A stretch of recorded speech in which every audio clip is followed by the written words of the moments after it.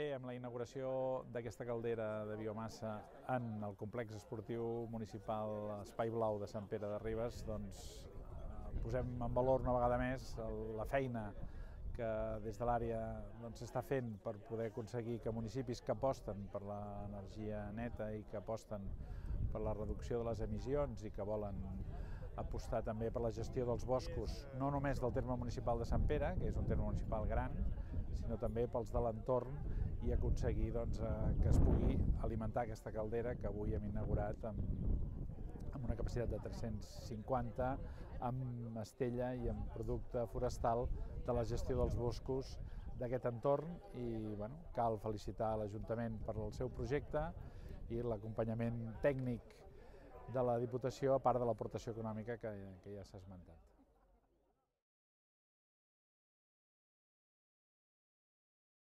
És una cosa novedosa, la primera caldera de biomassa, i diem la primera caldera de biomassa perquè la nostra intenció és eh, continuar en aquest camí, doncs gràcies també per aquest acompanyament eh, que ha format part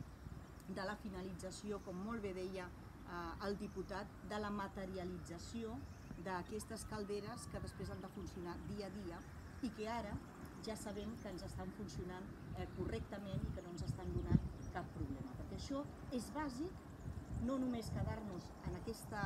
eh, en aquest pensament més teòric, sinó que després la realitat i la implementació real ens acompanyi i ens doni la raó de que aquesta, aquest és el camí eh, que hem de fer. I aquí són moltes peces, com he anat nomenant, que s'han encaixat i que heu tingut la voluntat de que així sigui perquè aquest projecte sigui un projecte eh, d'èxit. Aquest és un camí, com us deia abans, que l'Ajuntament de Sant Pere de Ribes com a municipi ha una complicitat també amb altres forces polítiques, no només l'equip de govern, als quals també vull agrair la seva col·laboració, doncs hem iniciat perquè creiem en un model eh, energètic eh, i sostenible eh, diferent al que, al que fins ara estàvem tenint. I perquè creiem, a més a més, que amb aquest tipus d'accions que tanquen aquest cercle, bé ho deia eh, també el regidor abans, eh, Fran Perona, al qual també vull agrair en primera persona també la dedicació en aquest projecte, tanquen aquest cercle que tan important és en la nostra vida.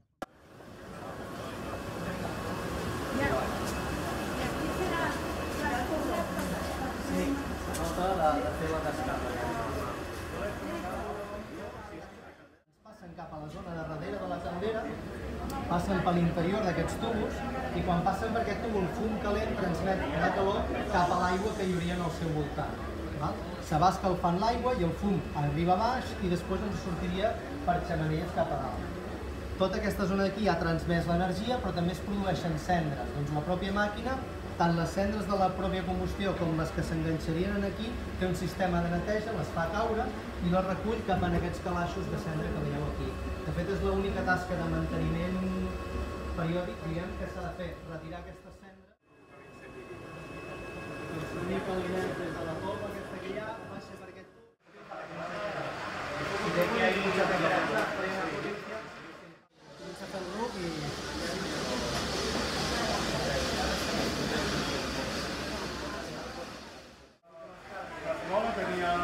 Abu Dhabi.